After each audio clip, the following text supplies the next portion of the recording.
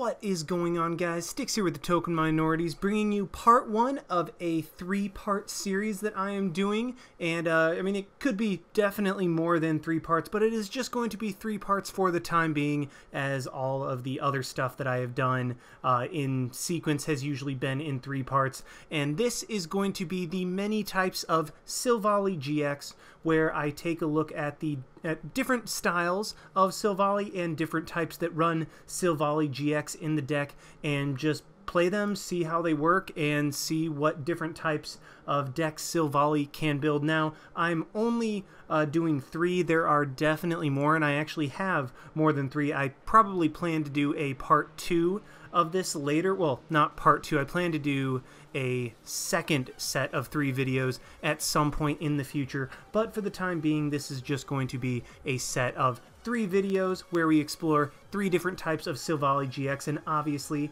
this first video is going to be Silvally Metal, the most straightforward and the one that I believe that has seen the most success in the competitive uh, in the competitive scene. And before I get into the deck, just a reminder that if you guys like this video or found it helpful, please leave a like, drop a comment, click that subscribe button. Helps us out a ton, and let's do more cool stuff for you guys. And if you guys are new to the channel, please feel free to check out our Discord. The link will be in the description below. We don't just talk about TCG. Here at the Token Minorities, we are a collaborative channel where we also have draft format. Uh, we have a quote unquote fake news among the draft format scene uh, show, which is pretty funny. And occasionally, if Maddie or Abe feel like it, we will have some Smogon content. And our uh, channels on our Discord reflect such. So, yeah, feel free to check that out. Uh, the link, like I said, is in the description below. And before I get into the deck, the question of the day.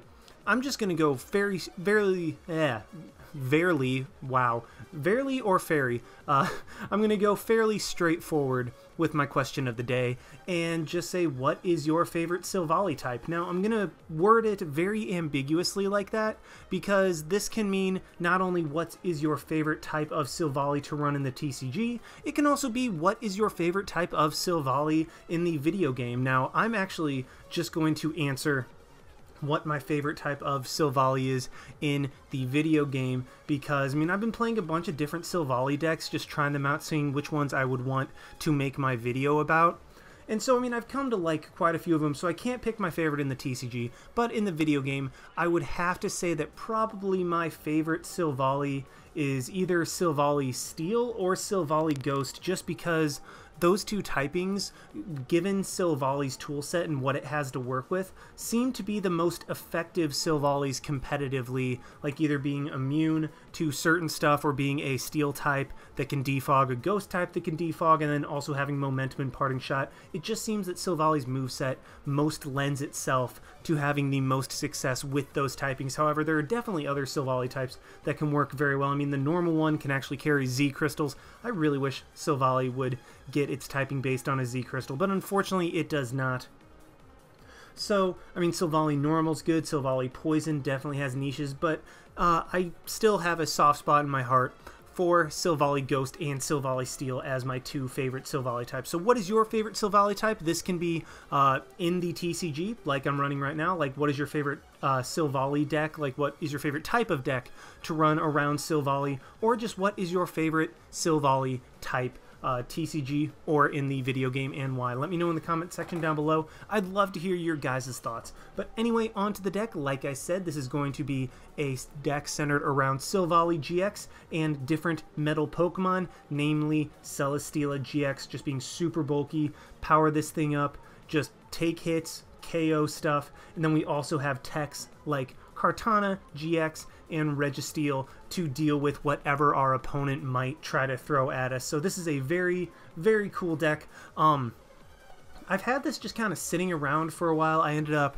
uh, teching it out a little bit, so I'm not sure where this came from originally, but I do know that it was just in my deck builder, and I decided to update it for Ultra Prism, which is why I have a couple of the cards, obviously, from Ultra Prism in there.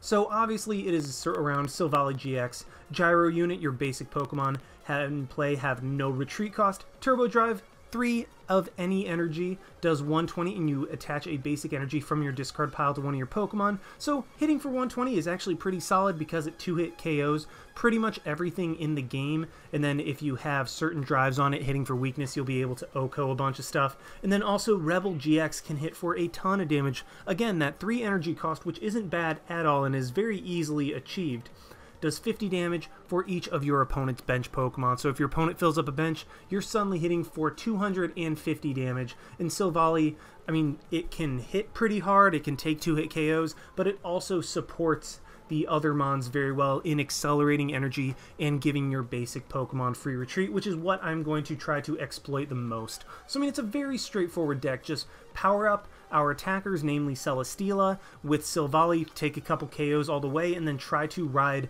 Celesteela to the victory, or Silvally if that's the route you decide to go. I'm just going to go uh, through the Pokemon from, well, from the start. We have one Oranguru, Oranguru over Octillery because bench uh, basic Pokemon, not bench Pokemon, but I guess bench Pokemon do technically as well, but basic Pokemon have no retreat cost. Octillery would have retreat cost, so with just having Silvally in play, Oranguru suddenly can retreat for free, so it is much, much better than Octillery in that one, don't have to dedicate as much deck space to it, and two, it will have the free retreat and can also attack for 3 energy with Psychic if you need it to.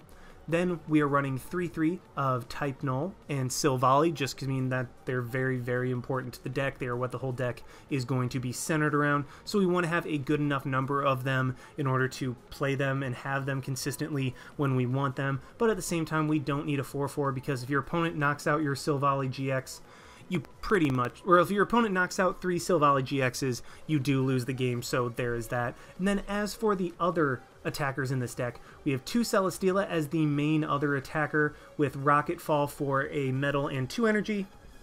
Does 30 plus 30 for each uh, of your opponent's retreat cost or each, each colorless energy in your opponent's retreat cost. Can do pretty solid damage against certain Pokemon, but Moon Press, even though it's 4 energy for 130, which normally is like, ugh, that's, that's a really ugly attack cost, which it is because you can't just throw two DCEs on it. Uh, it has to be two metals and a DCE or just something along those lines. Still doing 130 with being a huge bulky behemoth that Celesteela is. 130 is enough to two-hit KO everything. So that is that is plenty. I mean, it's not amazing, but it is definitely enough. And then Blaster GX for the same cost as Moon Press, you're able to hit for 180 damage, and then it's basically a town map where you turn all your prizes over. So there's definitely competition for the GX attack in this deck is Kartana has one that you, just take a prize, which can be amazing if your opponent tries to make you play the odd prize game against decks like, say, Metagross or something to that effect, where they rely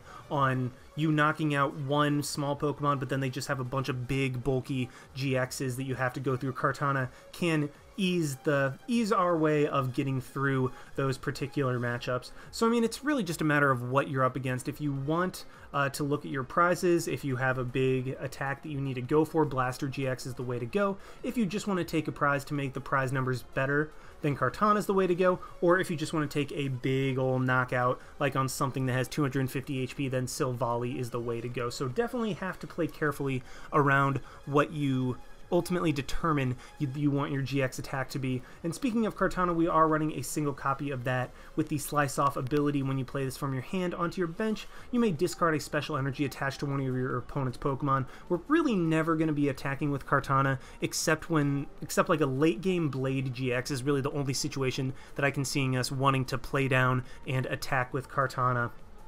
So other than that, really not seeing where we would actually want to truly play it down. We're really just going for, uh, or not play it down, but where I would want to attack with it. I'm really just going for the ability to discard uh, a special energy off of our opponent's Pokemon. Can be devastating and can give us that extra turn that we need. And then two Registeel to be able to accelerate energy just for a single energy. It, Turbo Arm does the same thing as Turbo Drive from Silvally, except it is just 90 less damage and only one attack cost, and I mean, it still is just basic energy, so that is very nice as well. And then finally, three Lele in order to maximize our chances of getting a turn one Lele into Brigette, or just getting a supporter when we need it. So now I'm going to speed up because I've been talking for way too long already, sorry about that. We have two Field Blower because this deck is very reliant on abilities, so we want to be able to uh, turn off Garbotoxin whenever we need to, and also Choice Bands can be very annoying as most of our attackers are GXs, so that is going to add up to some extra damage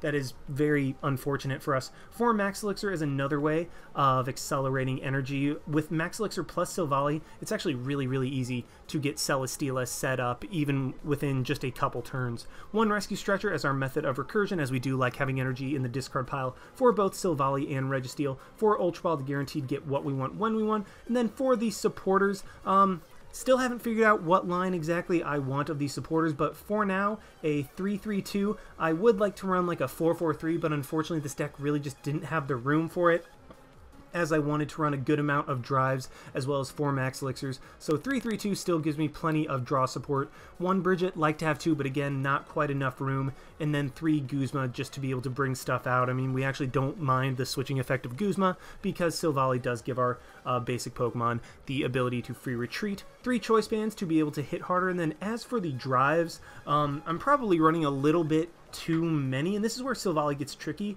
because, I mean, it has a drive for almost any given matchup. It's just a matter of getting to that and making sure you have the right number to where you don't put yourself at a disadvantage against other decks while still letting you draw into that when you want to. So I'm running two fighting, two psychic, and one fire just because, I mean, Buzzwole I have seen everywhere, so psychic. Uh, Zoroark is everywhere because it's Zoroark, so the fighting. And then fire is for like the Leafeons that have been starting to pop up, and then also like Metagross, other metal decks that we might run up against. Just give us the ability to hit those for super effective damage. So, I mean, that's the line I've been going with, and it actually seems to work out pretty well, so I'm sticking with it. And then for the energy, running very heavy energy uh, for DCE, just because everything in this deck functions off DCE except for Registeel, and then 10 metal energy, so that statistically speaking, we can hit max elixir when we play it. So, yeah, been talking for way too long. Let's just go ahead and see this deck in action. Already we have found one against uh, Kylo L. Kylo? Kyle? I, don't even... Uh, Kyle Darkheart. There we go. I was thinking like Kylo, like Kylo Ren. Uh, Kyle Darkheart with looks like a Gardevoir deck, which would be very, very, very beneficial for us if that happened to be the case. And what would be more beneficial is if I drew into a basic Pokemon so that I'd be able to start. But I mean, you know what? You can't always can't always get what you want. So, I mean, we start off with nothing so far. I mean, I still have to wait and see what else I can draw into. Um, and we start with the Celesteela. Okay, so this hand actually is not bad. This hand isn't bad at all. What I'll be able to do is Ultra Ball, throw a metal in the discard pile, get rid of a Field Blower, and potentially get a Type Null up immediately, or a Registeel, or really whatever I want to get going depending on what my opponent has. And I even get a Silvally, so what I think I'm going to do actually, Ultra Ball, get rid of the metal and the Field Blower to grab a Lele, make sure Brigette is there, so that I can Lele into a Registeel and a Type Null. Uh, I really don't, especially considering I have the Silvally in my hand, I have no need to play things out, or I have no need uh, to get rid of my hand, and plus, I mean, I'll have an attachment for the turn anyway, so it really really just ends up being more beneficial to me. So let's go ahead and grab a Registeel type null. Do I want to grab another one? I might want two type nulls in this. Yeah, let's go ahead and do that. That way I can keep the Kartana. Uh, that way I'm still able to play down down the Kartana later. Unfortunately, whiff on the Max Elixir. That's fine. I'll just attach the energy to the... Let's attach to the Celesteela, because if I draw into a Metal Energy, I'll be able to attach to Registeel, and then with Silvally, I'll be able to have the free re retreat. And if I get a DCE and not a Metal Energy, I can still at least attack with my Celesteela. So he does attach to Ralts and then he ends me. That stinks a little bit, but I mean, at the same time, I get six cards, so odds are I should be able to draw into a Silvally, and I actually literally just get a better version of what my hand would have been anyway. So this works perfectly. I mean, I get my uh, Cynthia and my Silvally, but I also get energy, I also get attachments. So let's go ahead and max Elixir I hit that so I can use my attachment for the turn on a DCE as well. Let's put that onto Don't want to put it on Type Null or Celesteela? Okay, so Ralts is going to be knocked out by my Registeel, so I think I'm just going to set up a little bit better with my Silvally. I can always just attach the energy from uh, Registeel to the Celesteela anyway, so that it's ready, so that it's ready to attack. I get another Silvally, so I even get two of those down as well. So what I'm going to do, just retreat into the Registeel, knock out the Ralts while accelerating energy, and I don't even have to go into uh, Silvally in order to accelerate energy. I'm able to get the Celesteela powered up, and now with the DCE in my hand, I'll be able to just simply play that onto Celesteela next turn and take one-hit knockouts on whatever he's able to bring up. Even Gardevoir GX, uh, even though he can't play it, there's no way that he can get it. Gardevoir GX will be knocked out. So let's go ahead and attach the DCE to the Celesteela and then N. Might as well N now while I'll still get uh, five cards off of it instead of three. And this is this works out perfect for me. So I can even, if I want to go for the GX attack with my Celesteela, I can um, to get my prizes face up, but I think the better play is just to moon press and knock. Well, okay. So the better play I thought was to just moon press, save my GX attack for later, as I would be playing. It seems like I would be playing an odd prize game. I can always just attach that energy to Kartana and take my last prize in that situation. So, I mean, while playing with my prizes face up would have made it a lot nicer. I really didn't see anything uh, that was I didn't see anything that would have been in my prizes that I would like guarantee want to grab. So I decided that saving it for just taking a prize with Kartana later would probably be the better idea. But either way, we are able to take that one relatively quickly. Just got set up too fast and was hitting for weakness, so that's that's always nice. Uh, but yeah, let's go ahead and try to find another one. Alrighty, we have found another one against uh, Dawkin with a pure fighting deck. So this will be interesting to say the least, wondering uh, what all fighting types my opponent is running. And yes, I would like to go first. Unfortunately, we will get hit for weakness, and I start off with Kartana. Now, Kartana is not... Yeah, you do not want to start with Kartana because you want to play that down to discard a special energy, especially against a fighting deck where strong energy will be able to get you... Well, will be able to... Uh, your opponent will be able to hit you for a little bit extra damage, so that's not necessarily yeah, you want to save that just to play it down, and also Kartana's late game too for the Blade GX just to be able to take a prize. So, okay. So my opponent's running Buzzwole, Carbink, and Machop, so it looks like just kind of a hodgepodge fighting deck. I think I'm going to hold on to the Choice Band for now. Save that for later. I get a Celesteela, which I think I do want to play the Choice Band onto, and I'm just going to end my turn right there, I believe. I always have the opportunity. Uh, I'll always have the opportunity to put Kartana back in the deck with its attack. I don't think I've actually ever attacked with Kartana before, so that'll be interesting. Uh, I'll be able to use Kartana's attack to put it back into the deck. Uh, my opponent does just Jet Punch with Buzzwole. And let's start powering up the Celesteela and maybe I can hit a couple, hit like some other stuff, and I get, okay, so this is something I can kind of work with. Ooh, and I even get the Psychic Memory. So let's discard both of the metal to, I think, grab Oranguru or Lele. I think just grab Lele, because while I could try to go, I like could I could fish for a max elixir. I think it's better just to get the Lele in my hand and then have a supporter for next turn. So let's go ahead and do that. Uh, I like the choice band being on Celesteela, and I'm going to hold off on playing the Psychic Memory for now because I don't want my opponent field blowing that away. That'll be my uh, that'll be my way of one-shotting Buzzwole if I'm able to get that up and get Silvally attacking. Unfortunately, because I attach the energy to Celesteela, I'm going to need to hit a max elixir off of this, otherwise I'm just going to evolve into Silvally, and unfortunately can't max elixir onto that thing. So this is looking... Yeah, this is not looking good. It looks like my opponent's... I mean, Buzzwole is just applying early pressure. Like, it, that's what it does, and I get a DCE. So the question is, do I want to attack with Silvally or do I want to just power up Celesteela and try to attack with it? I think I just want to start hitting with Celesteela so that way I can get damage onto the board. I mean, I could... I mean, either way, I'd be able to... Ah, crap, okay. So let's get another Type Null down. Um, let's actually get Registeel down, and then Max Elixir, see if we can hit that. That'd be very helpful. Yes, I do. And I can put it onto... Okay, so what I was going to say is I could have put it onto Celesteela and one-shotted this Buzzwole, but I will be able to uh, Rocket Fall him for a two-hit KO, and then I can use uh, Registeel to start powering up stuff in the background. So, again, I could have taken the OHKO with my GX attack on Buzzwole with Celesteela right there, but I, I don't know. I just kind of felt like I would rather. Never mind. All right, so definitely bad play. I mean, I'm I'm regretting that play already. Uh, really should have just max elixired onto the Celesteela, but I wanted to get energy onto Registeel so that I would be able to power, up, so I would be able to attack in yeah, now Buzzwole gets a... Okay, so that was very, very bad play on my part. I should have just Max Elixir'd onto the Celesteela because I still would have had two energy on it. I could have just manually attached and continued to Rocket Fall, hit my opponent for good damage, and then uh, the Buzzwole would be gone. But nope, he is going to have a Buzzwole that I am unable to OHKO from this range, and Celesteela is going down. So my opponent is up two prizes already, and this is... Yeah, that was that honestly, like that was just a horrible play. That was a very horrible play. Um, what I can do, if I hit this Max Elixir, I can actually attack with Kartana, shuffle that back into my deck. Crap.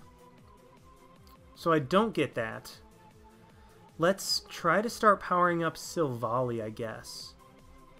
Uh, yeah, let's just Turbo Arm and go from there. This is not looking particularly good. Yeah, I'm behind. That that misplay with Celesteela really, really set me back because now he has a Buzzwole with three energy, and I'm the one that is trying to build up stuff in the background while already down two prizes. So definite misplay on my part. Should have just attached to Celesteela and then GX attacked my way through the Buzzwole. But unfortunately, misplays like that do happen, and I'm going to try my best to come back from that. And my opponent even is playing Pokemon Center Lady, so my opponent's clearly not playing like a meta deck by any means. But regardless, I mean that's the power of Buzzwole. It in itself causes problems, and I don't want to put Silvally up right now just because that's I mean it's it's in danger. So uh, yeah, he is just gonna keep racking up damage on Kartana. Um, ah crap. What do I do? I think I might just want to try to bring up the Machoke. Bring up the Machoke and then Turbo Arm it again. So let's do that. Bring up the Kartana. And then just go back into Registeel and Turbo Arm it. Hopefully... Well, what this also does is if he evolves into Machamp GX, I don't remember if Machamp has 240 or 250. I'm leaning towards 250. What this does is it puts Machamp GX in range of being knocked out by Turbo Drive from Silvally super effectively. So it's in one-hit KO range. Buzzwole I can always just Guzma up this coming turn and knock that thing out. If my opponent has a Guzma, then I pretty much just lose because that means all my turns of trying to get stuff set up uh, just will be for nothing and my opponent will be down to two prizes with a fully loaded Buzzwole that I cannot respond to. So he gets the switch into his Buzzwole, which, okay, he can knock out my Registeel, but I will be able to immediately go into Silvally and knock out this Buzzwole. Yes, Machamp has the ability to potentially just one-shot me back if my opponent's able to evolve into Machamp and attack my Silvally. But yeah, let's go into my Silvally right now and go straight for the Turbo Drive. I mean, I, again, because my opponent, well, I guess not again, uh, kind of like in the first game, because my opponent is not playing, well, is playing a bunch of non-EXs, I want to save my GX attack actually for my Kartana so that I'm able to just late game come in and grab that one prize that I need in order to take home the game. So now we're tied. I have a Silvally that's powered up. Unfortunately, he's going to be able to get a hit off on me with his Machoke, and this is going to do this is going to do quite a bit of damage. Um, if he's able to get submission, he might be able to knock me out. If he's able to draw into an energy and attach it to Machoke, I think he's I think he might be able to knock me out. But I'm also really glad that I have that 30 damage on because Karate Chop will actually be doing much less damage. And he gets a Buzzwole. Um, ah, that's awful. That is really bad that he got rid of my Psychic Memory. Because what I could have done this next turn is just Guzma'd up the Buzzwole and knocked it out with Silvally. but unfortunately that's just not something I can do. Uh, Kartana is almost in range of being sniped by Jet Punch, so I have to be very careful about that. I'm probably actually going to attack with Kartana at some point in this game to shuffle it back into the deck. That way I can just reset all of the damage on it. And he does just Karate Chop. Luckily only hits me for 100 and not 160 because now I'm out of range of Jet Punch from Buzzwole, so I'm able to take my knockout while still getting energy. And here's the question.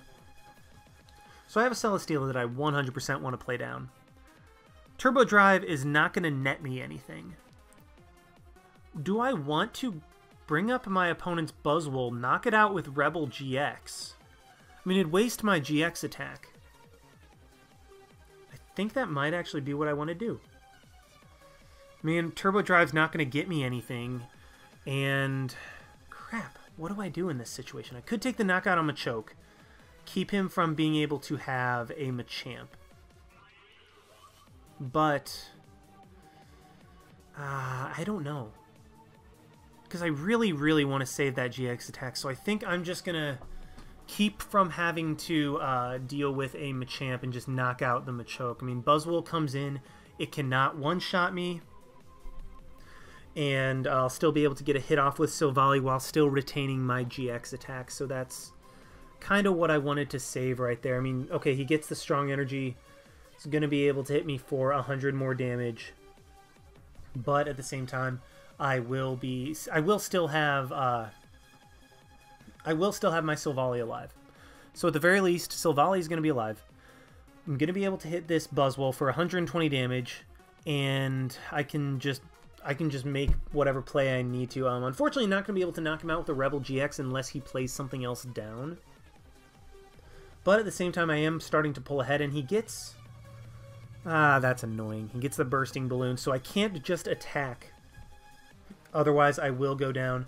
Uh, he does snipe the Registeel. Well, that gives Kartana one more turn. That gives Kartana another turn of living. If he had sniped it right there, I would have been in a really bad spot. But luckily, Kartana is still alive at this point. Let's Ultra Ball grab an Oranguru. Um, there is one more Psychic Memory in there, so I kind of want to fish for that. I, man, this is where I this is where I kind of wish I'd played Field Blower earlier, but at the same time, uh, there's almost. I mean, it, it, I'd end up doing the same thing. I'm going to get rid of my opponent's Bursting Balloon for sure because that means Silvally lives through the turn and he has to attack.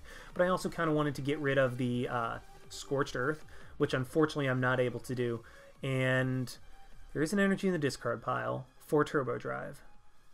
I can attach the Choice Band and knock out my opponent's Buzzwole. Um, first things first, let's go ahead and Max Elixir, see if we can hit it. Yes, we do, luckily. So I'm going to throw that, actually, I think onto Kartana. Hmm, don't want to do that. Yeah. So, not going to lie, because my opponent did not put the damage on Kartana and chose to knock out my Registeel, I'm able to I'm actually able to live through this turn. So he has to have a Guzma. If he has a Guzma and brings up my Kartana and is able to switch out, then I just lose. Because he can snipe my Silvally and Kartana will go down to a strong energy. So get a DCE as well. Let's go ahead and put that on the Celesteela, actually. And then let's Turbo Drive, hit the Buzzwole for 150, and then get an energy somewhere. I think I'm just going to put it right on the Celesteela, because that thing has 200 HP, and it's not going down anytime soon. But what I was saying, if my opponent hadn't taken the knockout on my Registeel and instead had put the damage on Kartana, I lost this turn. In fact, I would have had to have attacked with my Kartana just so I could get that damage off the board to where he couldn't just jet punch me for the win. So that uh, slight misplay by my opponent, I mean, I guess it's kind of... We both made misplays. I made misplay. I made a misplay early on with my Celesteela. He made a misplay right there by sniping uh, something just for one prize. When had he just put it on Kartana, he had the win this turn. So I mean, both of us are making misplays here and there, uh, but my Silvally is going to go down, and I actually will live this turn. Um, he go he gets the Kartana, which is kind of spoopy. And okay, so let's go into the Kartana. And then I think I just have to N and pray that I draw into an energy. Because if I draw into an energy, I'm actually in an amazing spot because then that gets all the damage off the board. and I'm pretty sure he does not have a way to OHKO me, and I do luckily draw into an energy. That is phenomenal. Otherwise, yeah, otherwise I would have just been in fear of Buzzwole. So let's go ahead and attach the energy onto Kartana, uh, Rescue Stretcher. What do I want to grab? Uh, let's just grab a Lele. Let's grab Lele so that I have an out for another supporter if my opponent ends me and I'm low and don't have the cards that I need. So yeah, let's just go ahead and do that. And what this also allows me to do, well, first of all, I'm going to go ahead and Gale Blade, knock out the Buzzwole while shuffling, shuffling Kartana back into my deck. But if I get an energy, and oh, wow, that was loud. If I get an energy and Kartana this next turn, I win because I will be able to use the GX attack that I saved up in order to take my final prize. So that is why I was waiting so long to uh, play my energy, is just because I wanted to be able to take that final prize with Kartana. I wanted to have that option. Uh, that way I wouldn't have to try to go through like a Machamp or something like that promoting my Celesteela because it has the most HP. Uh, okay, Silvally does too, but Sil uh, Celesteela also has free retreat, so that is nice as well. And there we go. So we are able to luckily take home the game in the end. Another play I could have made was to Lele for a Sycamore to get a fresh hand and hopefully draw into a Psychic Memory, which would have allowed me to OHKO a lot of his mons. It wouldn't have been able to OHKO the Machamp GX but I would have OHKO'd anything else. And on odds are, like if it came back into my turn and I couldn't just OHKO what was right in front of me, I would have Ultra Balled into the Kartana and tried to make that play uh, in order to win the game off of just using my GX attack. So, uh, yeah, that is the deck, guys. I think I'm going to end it there. Hope you guys enjoyed watching. Like, comment, subscribe, all that stuff. Be on the lookout for the next parts of Silvally Week, quote unquote. This is Styx signing out. Why not? See you guys.